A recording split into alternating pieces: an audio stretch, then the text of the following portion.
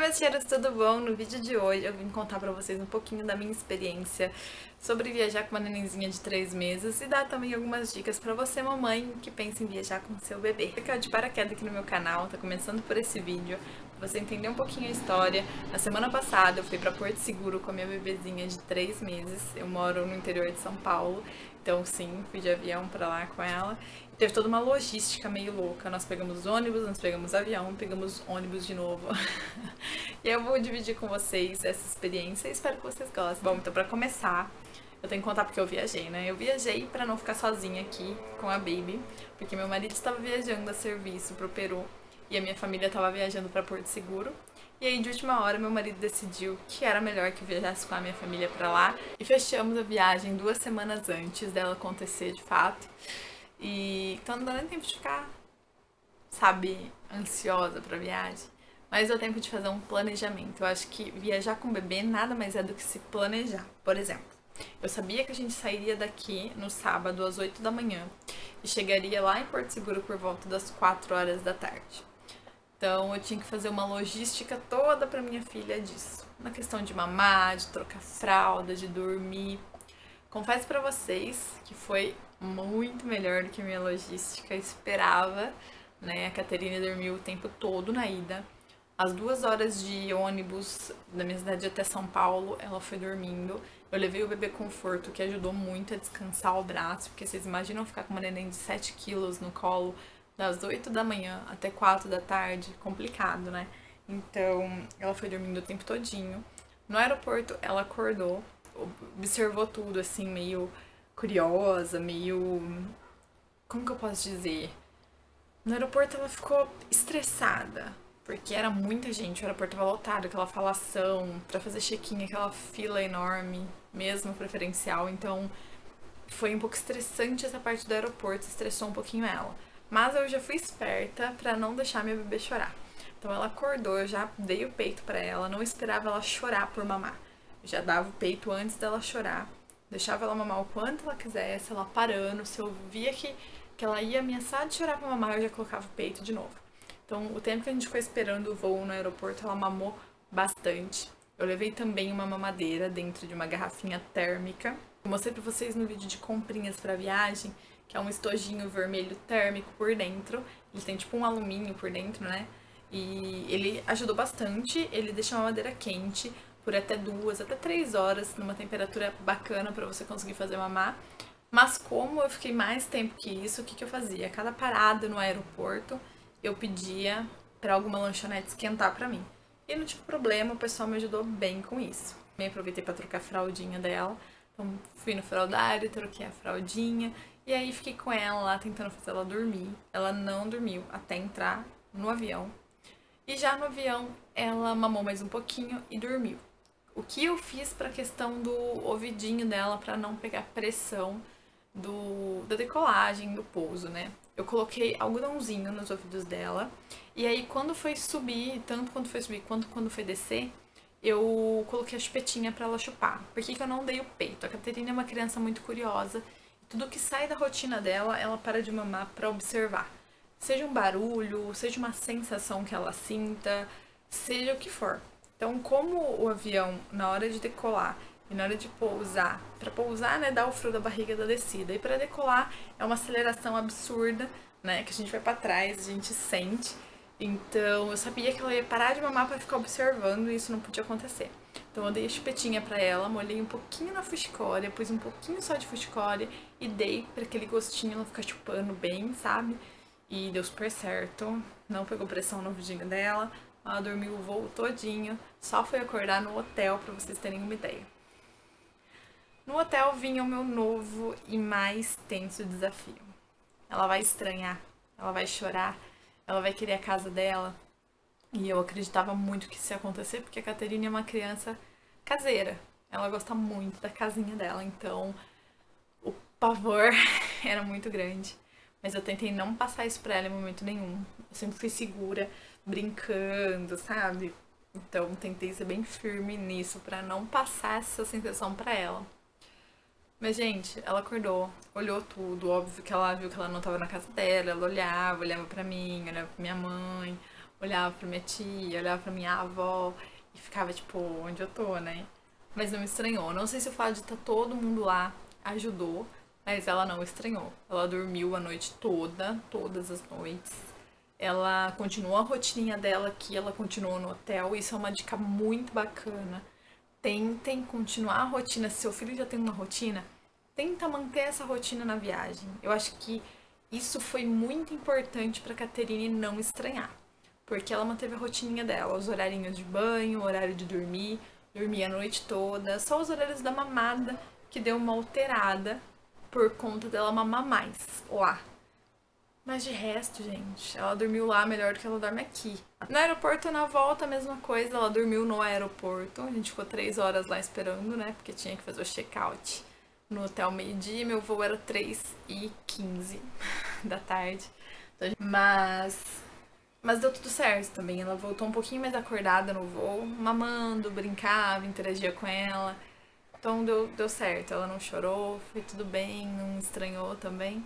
Na volta, voltando também de ônibus de Congonhas até aqui, ela veio dormindo e no bebê conforto novamente. Então também foi super tranquilo.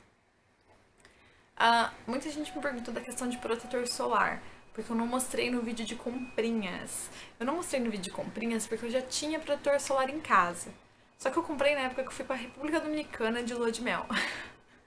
então, assim, quando eu fui ver, que foi. A gente foi no sábado de manhã, foi na sexta noite, estavam todos vencidos.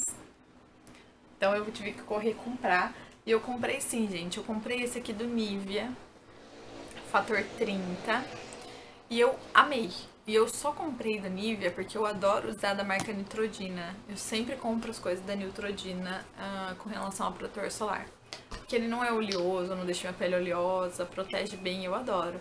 Esse aqui tava numa promoção muito bacana, eu comprei na drogaria São Paulo e essa drogaria ela sempre tem umas promoções muito boas. Paguei 36 reais nesse protetor e vinha grátis o protetor facial, que é esse aqui. Ó, que é muito, muito bom. Ele tem um toque seco, sabe? Você agita ele, ele faz até um barulhinho. Você agita ele antes de usar e passa, e ele parece uma água. E aí você passa no rosto e ele fica um toque super seco. Eu amei. Não deu espinhas, não deixou minha pele oleosa, adorei. Uma dica também, muito bom, protetor solar da Nivea. E a Catarine não pode. Eu pedi pro pediatra dela para viajar, ele autorizou, né? Esqueci de falar esse detalhe, mas ele me autorizou a viajar com ela. Falou que não teria problema algum e realmente não teve. Uh, e não me autorizou a usar nem repelente nem protetor solar. Repelente e protetor solar só pode ser usado em crianças maiores de 6 meses. Então lá também eu tive que criar toda uma logística para ir para praia e piscina com ela. Uh, as praias de lá são bem arborizadas, então tinha às vezes horário que era um horário que ela não podia estar no sol, mas eu tava na praia porque a gente tava embaixo das árvores com ela. E foi muito, muito tranquilo também isso. Então dá pra você se planejar. Como lá é Nordeste, tá mais próximo da linha do Equador, o sol é mais forte, né? Os raios solares são mais fortes, segundo o pediatra. E então eu podia ficar no sol com ela até nove e meia da manhã, no máximo, máximo, máximo, máximo, estourando, e raros dias até as 10 e após as quatro e meia da tarde. Só que lá no Nordeste, tipo 5, 5 e 10 já tava escuro. Então realmente no final da tarde não dava para aproveitar muito. E eu aproveitava então para ir um pouquinho mais cedo pra praia e ficava com ela embaixo das árvores ou dentro de algum quiosque que fosse coberto. Mas deu pra fazer super tranquilo, gente. Ela não se bronzeou, não se queimou, não precisei passar protetor. Com relação ao repelente, lá tinha muito, muito pernilongo. E aí, o que, que eu pedi pro hotel fazer? Quando eu saía pra algum passeio, eu pedia pro pessoal do hotel passar repelente por tudo ali. E deixar fechado. E aí, quando eu chegava, eu não ia com ela direto pro quarto. Eu ficava com ela lá no hall, em algum lugar, e abria as janelinhas e acho que é importante também lembrar as mamães de levar um mosquiteiro, que não ocupa muito espaço na mala e vale super a pena, assim, ajuda a proteger o seu bebê. Falando em mala, eu não filmei pra vocês como eu organizei a mala porque foi uma correria gigantesca. Mas uh, uma dica que eu posso dar pra vocês para fazer a mala do bebê é primeiro pesquisar a temperatura do local que você tá indo viajar. Olhar na previsão se vai chover, se vai fazer sol, se a temperatura tá alta, se a temperatura tá baixa. Mas independente do que fale na temperatura, é sempre bom você levar uma outra opção. Por exemplo, Porto Seguro, Nordeste, lá geralmente é muito calor. Eu levei muitas roupas de calor, olhei na previsão, teria dias que estariam chovendo, mas ainda assim estaria muito quente. Mas lá venta muito. E final de tarde, tinha final de tarde, noite já, que tava um pouquinho mais frio. Não frio, mas já tava mais geladinho. Então eu levei algumas opções de frio para Caterine macacõezinhos compridos, uh, calcinha, bodezinha de manguinha comprida, levei várias meinhas, sabe? É muito importante. Coeiro, coeiro eu levei na minha mala de mão do aeroporto. Coloquei um coeiro e uma mantinha, porque a temperatura também varia muito do ônibus para temperatura ambiente depois no aeroporto e depois no avião que tem o ar-condicionado e veio trincando. Então é muito importante também você levar uma cobertinha né? Coloca uma roupinha mais fresca, uma roupinha mais leve no bebê, mas leve uma cobertinha para não correr o risco do seu filho passar nem frio nem calor. Bom, agora eu vou ver algumas perguntinhas que eu recebi no Instagram. A gente me perguntou quanto eu gastei com a viagem. Gente, é muito relativo. Uh, lá eu achei tudo muito caro, principalmente para você comer em praias que são turísticas. Arraial da Ajuda mesmo, eu comentei com vocês num vlog já, que eu paguei 50 reais em uma batata e um suco. Então, assim, no pacote que eu fechei da viagem já estava incluso café da manhã e jantar. Então eu só pagava o almoço. Mas ainda assim, você gasta num prato de comida lá fácil. Por exemplo, no hotel, os dias que eu ficava pra almoçar no hotel, um lanche era 20 reais, o mais básico. Uh, um almoço mais simples era 40 reais o prato para uma pessoa. Então é muito relativo. Ficaram para mim também se eu tive alguma dificuldade no trajeto. Como eu falei pra vocês, a Caterine veio bem quietinha, graças a Deus. Mas assim, é... eu acho que a maior dificuldade é o nosso medo. Pelo menos o meu medo foi a minha maior dificuldade, não foi nem a Caterine. A maior dificuldade que eu tive realmente foi o medo, o desespero de acontecer alguma coisa, dela ficar nervosa, dela chorar, enfim. Uh, eu acho que essa foi a minha maior dificuldade, vencer o meu medo. Tá, outra pergunta que fizeram é se eu fui uh, nessa viagem para ficar em casa de família ou se eu fui para ficar em hotel. Eu fui para ficar em hotel, não tenho família em Porto Seguro. Perguntaram novamente do valor. Gente, eu não fiquei somando tudo que eu gastei. A questão da viagem em si fechada, eu não perguntei pro Marlon o valor, foi ele que me deu de presente. Então eu não sei quanto ficou. Eu acho, eu acho assim, chuto entre 1.800 a 2.000 reais, mais ou menos, o hotel, city tour, voo e meia pensão, que é almoço, que é almoço não, perdão, que é café da manhã e jantar. Eu chuto mais ou menos entre esse valor. Agora lá o quanto eu gastei eu não vou saber dizer pra vocês, gente. Mas aquilo que eu falei na outra pergunta, que é carinho para você comer lá. Uh, gostaria de saber qual foi a maior dificuldade de viajar com uma bebê e também se a Catarina estranhou o ambiente, o lugar por ser totalmente diferente de casa. Beijos. Tá. Uh, como eu falei pra vocês, não, ela não estranhou. E a maior dificuldade, gente, da viagem toda em si é você ver todo mundo se divertindo e muitas vezes você não poder ir. Então, às vezes eu ficava chateada de ver todo mundo na praia e eu não poder estar lá, ela tá no hotel porque a Catarina estava dormindo. Mas assim, uh, essa é a vida de mamãe agora, não só na viagem, né? em tudo. Às vezes a gente quer almoçar no dia a dia. A gente vê todo mundo almoçando, a gente quer almoçar e não pode, porque o bebezinho tá acordado, tá precisando de você, ou tá chorando, enfim. Então, isso não é uma coisa da viagem, isso é uma dificuldade da mãe no dia a dia, né? De ver todo mundo fazendo as coisas e você muitas vezes não poder. Mas lá foi, às vezes, eu acho que foi difícil lidar com essa parte emocional, sabe? De ver todo mundo aproveitando muitas vezes e você fechada no hotel.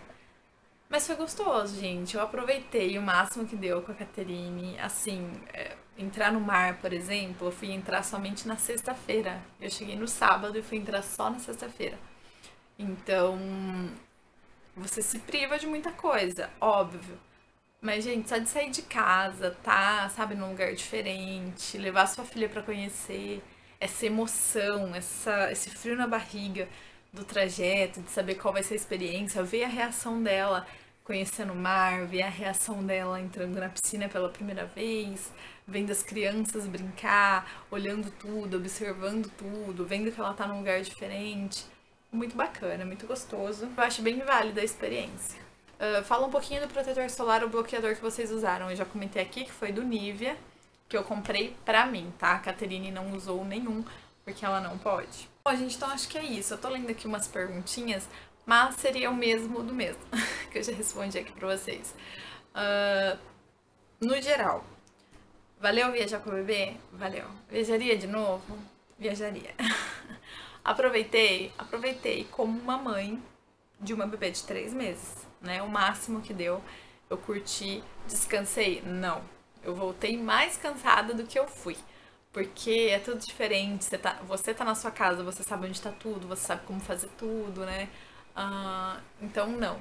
E, mas é isso, gente. Ah, outra coisa que me perguntaram é como que eu fazia pra dar banho na Caterine lá. Nos primeiros dias eu dei banho nela no chuveiro comigo mesmo, não levei banheiro, não levei, não levei nada. E aí depois lá eu comprei aquelas, sabe aquelas piscininhas de encher, de boinha mesmo, que você leva pra praia às vezes com a criança? Minha avó comprou uma daquela, na verdade, e a gente começou a dar banhinho nela ali. Mas às vezes ela tomava no chuveiro comigo também. Então foi assim que a gente fez com o banho. A questão da mamadeira, que eu falo pra vocês, Catarina mama na mamadeira também, ela mama tanto peito quanto mamadeira. O que, que eu fiz? Eu levei uma garrafa térmica, como eu falei pra vocês, então eu esquentava a água, deixava ela bem quente. Tava nessa garrafa térmica e quando precisava fazer a mamadeira, misturava essa água com uma água natural. E o próprio hotel esquentava essa água pra mim, então não tive problema também em relação a isso. Uma outra dica que eu tava esquecendo aqui, e ainda sobre a mala, quando vocês forem fazer a mala do bebê, se for junto com a sua, como foi o caso da minha filha, que foi junto com a minha, é interessante que vocês separem em saquinhos a roupa dela. Eu comprei uma, uns saquinhos na feira da gestante quando foi para ganhar a Caterine, que eu levei pra maternidade. E eu usei esses saquinhos mesmo para separar as roupinhas dela. Então, em um saquinho, por exemplo, eu coloquei borinho curto e shortinho. Fechava o saquinho e colocava na mala. Num outro saquinho, macacão comprido. Fechava o saquinho e colocava na mala. No outro, bolezinho comprido e mijãozinho compridinho, fechava e colocava na mala. Sabe, assim, é bem bacana. Outra dica também para proteger seu bebezinho do sol, se às vezes você precisa sair, que nem eu falei pra vocês, que às vezes era tipo duas e meia, três horas da tarde, eu ia pra praia com ela. Que, que eu fazia para proteger ela do sol? A gente comprou boininhas pra ela, e aí colocava essas boininhas, chapéuzinhos nela, para proteger a cabecinha do sol e, consequentemente, proteger os ombrinhos. E sempre enrolando ela numa fraldinha para evitar o maior contato com o sol. Pessoal, então é isso. Quero deixar aqui para vocês uma coisa que não se privem, sabe? Porque ah, eu tenho um bebezinho de três meses, de dois meses, porque eu tenho um bebezinho de quatro meses, porque eu tenho um bebê, enfim. Não se privem de fazer o que vocês querem fazer por conta de, ah, porque eu tenho um filho. Gente, a gente tem um filho pro resto das nossas vidas, né? A partir do momento que a gente põe um filho no mundo, é para sempre. E assim, eu via lá as mães com crianças bem maiores que a Caterine, com criança de 9, de 12, com filhos de 21. Minha mãe foi comigo, meu irmão, meu outro irmão. Eu tenho 22, meu irmão do meio 21 e meu irmão mais novo 12. Então, sabe, é, é, eu vi que ela aproveitou menos do que eu, porque meu irmão do meio queria ficar saindo, né? Queria conhecer os lugares badalados de Porto Seguro e minha mãe ficava com o coração na mão, né? Porque não conhece. Então, eu via que eu tenho mais é que aproveitar essa fase que a Catarina é pequenininha e vai comigo aonde eu vou. Depois que eles crescem, né, não querem mais ficar com a gente. Então eu tô tentando fazer o máximo para aproveitar essa fase que ela vai comigo aonde eu vou, ela tá comigo, ela é minha companheirinha, que é bem, bem gostoso, bem bacana. Então curtam, gente, vivam a vida, não culpem os filhos de vocês por não estarem vivendo. Vivam, vão sem medo, vão confiantes. Não façam como eu que fui morrendo de medo, não. vão sem medo, se joguem. Óbvio que sempre tem aquela insegurança, né? Porque a gente fica é imprevisível. Criança é imprevisível. A gente não sabe o que, que eles vão, né, fazer. Mas vão com fé, vão com coragem e curtam. Curtam o máximo conseguirem, descansem, se for possível, mas aproveitem. Aproveitem a vida, vivam a vida, porque ela é uma só. E, né, dizem que a gente só se arrepende do que a gente não faz. Então façam. Então é isso, amores. Espero ter respondido todas as perguntas de vocês. Um big beijo. Fiquem com Deus e até o próximo vídeo. Tchau!